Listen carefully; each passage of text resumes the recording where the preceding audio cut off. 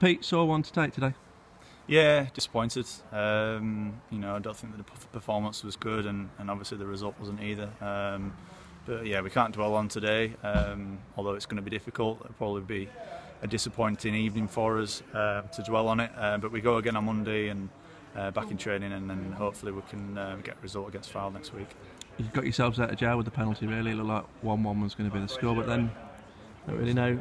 I was typing. I don't really know how the the winner came Yeah. about, but the lad finished it well. He didn't have much chance. No, it's um, it's disappointing. Um, I think um, it's one of those where you, do you consolidate for the draw and, and take a take a draw when we've not really played that well, or do we go on and try and win the game? I don't think they really. Um, I think they'd have taken a draw to be honest after after we um, equalised, um, but it's it's just frustrating that we didn't go on and win it really, or even take a result.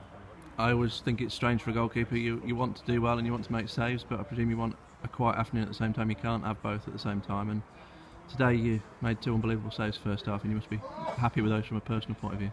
Happy from a personal point of view, yeah, yeah. That's but that's what I'm there to do. I'm there to make saves. Um, we've come in nil nil at half time, and um, and kind of thought maybe we could have gone go on and, uh, and do something um, and try and win the game in the second half, but it just wasn't to be.